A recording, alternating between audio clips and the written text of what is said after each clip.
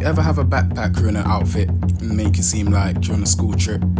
Well, get rid of that backpack. Get rid of get rid of that backpack right now. No need for the backpack no more. Why? You have the chest rig. No more flimsy items pushing on your back when you're trying to sit down. Easily store your items in plain view, and so no more pickpockets getting you.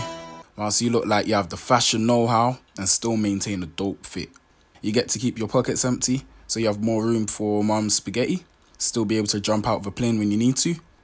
Ideally, just not to be worn to school with a black trench coat. No, no, don't do it. What is this almighty chest rig I'm talking about? I'm talking about this bad boy. Oh my god! Oh, Yeah. Wow! Oh, oh, oh my Oh god. my god! Oh my god, wow. The chest rig stems from techwear, and if you don't know what techwear is, then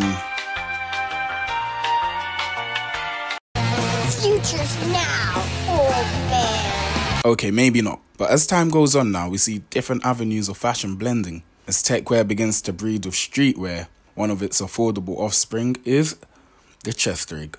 It's yet to take off, but is on the runway with the likes of Prada! even taking it aboard.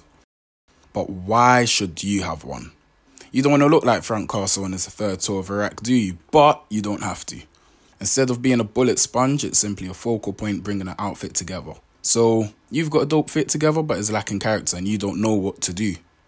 The chest rig comes along, bonds to your chest like symbiote, and gives a simple outfit more to do whilst allowing each part to stand out individually. The chest rig, there's a few ways you could style it. Now, this one's the main one. I'm sure you've seen it on your Instagram. You actually can't get away from this one. Oh my god, the new Attack on Titan episode's out. Whoa! Ah! Realistically, you don't want to be 80 years old or 65 or whatever wearing the chest rig to the office. Like, whilst you can put your office documents in there, maybe it wouldn't seem most appropriate. Maybe your boss might be thinking, oh man, we got to call security. There's a threat. You don't want to be tackled in your new suit. Maybe you should stick to the briefcase. But for casual wear, for maybe a younger audience, the chest rig is what it's all about, really.